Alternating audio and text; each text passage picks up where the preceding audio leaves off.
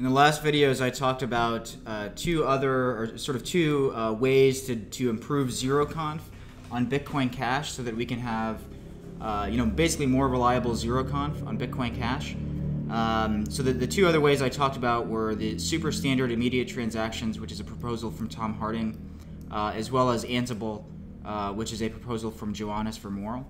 Uh, there's another article, so somebody sort of tipped me off to this. I already read this article before. I don't want to say who it is that told me to, to read this just because I got a sense of, of privacy from this individual. But if you if you don't mind if I name you, please please say so. I'm happy to give credit for this. But somebody pinged me yesterday and said you should look at Avalanche, uh, which is a proposal for a new consensus protocol, and and the people at Bitcoin ABC are interested in in this uh, in this proposal.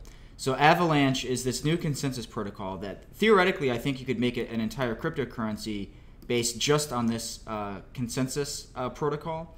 But also it's the type of thing that you could add to Bitcoin Cash to use in addition to the, the uh, proof of work consensus mechanism of Bitcoin Cash.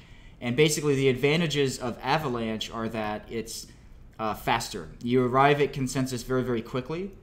Uh, and uh, the, the, basically the problem is that it seems, as best I can tell, uh, that the only problem with this consensus protocol is something like some of the transactions uh, just won't confirm because if you do things like if you broadcast a double spend, um, it actually may never reach consensus. So it doesn't actually guarantee that consensus ever occurs, uh, if I understand correctly. And if somebody understands it better than I do, please correct me. So I've only I've only read the paper once, and I, will have to re- read it again and spend time on it to actually understand it in detail. Uh, so I don't fully understand it, uh, but it does sound like a good candidate. So the way this would work on Bitcoin Cash is uh, the miners would basically do Avalanche, which doesn't require any proof of work, in addition to doing the proof of work calculations. And Avalanche, uh, I, I guess it's mostly a networking protocol. So I'm not sure how the bandwidth and stuff like that would compare and I'm not sure how much software would have to be written to create this, but I imagine quite a lot because you basically have to program this entire other consensus protocol. Uh, however, if you do that, you would have two sort of levels of consensus. Uh, you'd broadcast a transaction that would, assuming there's no double spend, would be confirmed in Avalanche very quickly. Uh, and then on average 10 minutes later it would be confirmed in a block. And so you could rely on Avalanche as being a, a effectively a pre-consensus consensus that just occurs faster um, but that has some slightly less desirable properties in other ways that are sort of made up for by proof of work. So maybe we can get the best of both worlds by having this sort of really fast uh, consensus protocol in addition to proof of work. Uh, so that's just an idea. Um, there's one other thing I want to talk about in this video, uh, which is uh, Opera is uh, evidently, uh, as of I read this morning, that they're launching a web browser for Android that comes with a built-in Ethereum wallet to make it really easy to make payments on the internet. Now, this is obviously, well, maybe it's not obvious to other people, but it's obvious to me that this is very much related to the money button. Uh, we're trying to do that for everybody. We're trying to make it so that it's really, really, really easy to send payments on the internet uh, to websites. So for things like, primarily for content, uh, but it, it can be used for anything else as well.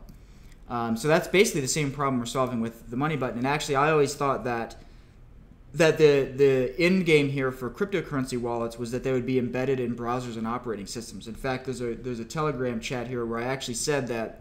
So there was some news that Bitmain was investing in Opera. And so I said what was probably happening is I bet Opera is including a cryptocurrency wallet in their browser, and that turns out to be exactly what's happening. That they are two days later after the news about Bitmain investing in them, it's revealed that yes, actually they have a, a, web browser that's in private beta with a cryptocurrency wallet built in. So this is this is a great idea. This is exactly how it should be. It should be built into web browsers because the usability and security is actually going to be better if it's built in to this sort of secure environment, which is the web browser or the operating system. So this is a great first step. Actually, I guess it's not a first step. I suppose Brave was the first step, but this is the first other browser that was developed for different reasons.